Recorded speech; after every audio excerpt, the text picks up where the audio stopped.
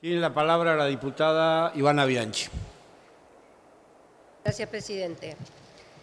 Presidente, el acceso a la casa propia, sueño de algunos y esperanzas de otros, debe ser garantizada con total transparencia, igualdad de oportunidades y previsible.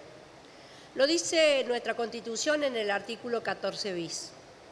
Cerebro que hoy estemos tratando esta ley.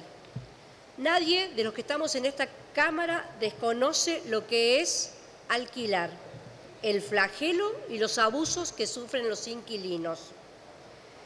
En estos momentos de gran recesión en lo económico en el país, los inquilinos deben mudarse y rescindir sus contratos con anterioridad, quedando cautivos de un sistema perverso y abusivo que a la hora de terminar ese contrato o hacer uno nuevo realmente sufren peripecias para poder lograrlo.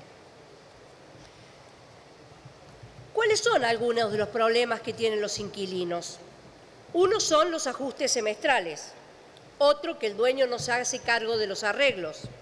Nunca se les devuelve el depósito de garantía, aunque no justifique quedárselos, siempre hay una excusa para no devolvérselos tienen eh, para poder ingresar un mes de alquiler, un mes de depósito y hasta uno o dos meses de inmobiliaria, que tampoco las inmobiliarias aceptan transferencias bancarias y tampoco cheques porque no quieren que quede esto en la FIP para poder seguir evadiendo. Les hacen pagar expensas extraordinarias, aunque no les corresponda. Hasta último momento no les dice si quieren o no eh, realizarle o renovarle el contrato cosa que se lo dicen en el último momento y tienen que acordar por el precio que ellos dicen. Nunca se sabe qué personas, una cosa tan chiquita como nunca se sabe qué cantidad de personas han tenido acceso a esa llave de ese departamento y si el inquilino le pide al dueño cambiarlo, eh, la cerradura le dice que no y se tiene que hacer cargo, por supuesto, el inquilino.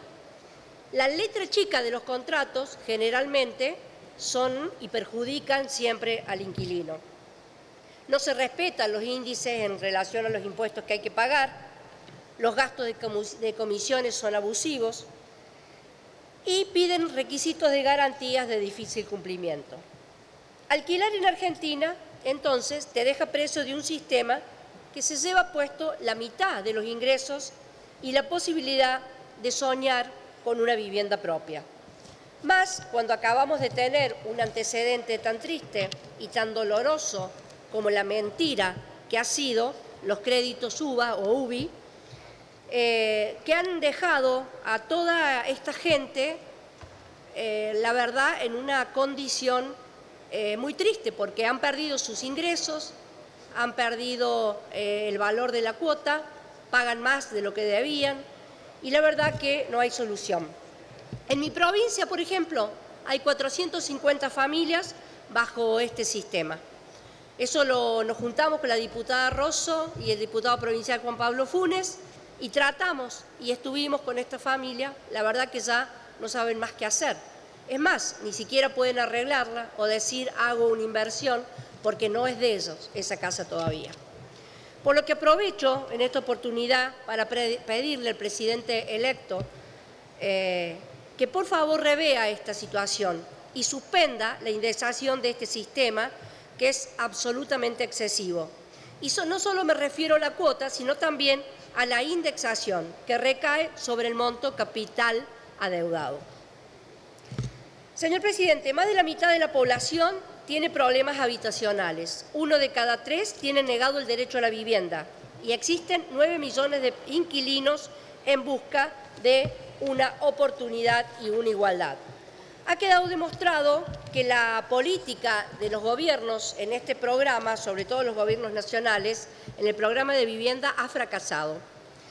Se debe repensar entonces un programa de vivienda, lo debe repensar las provincias, los municipios y también la nación.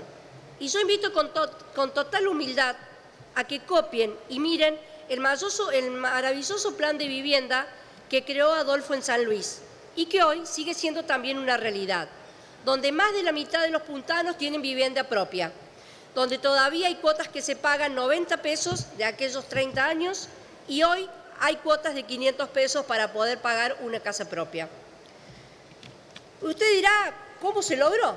Y es muy fácil, son políticas eficientes que requieren constancia, transparencia, aplicarlas de manera sustentable y sostenida en el tiempo para poder ver un plan exitoso.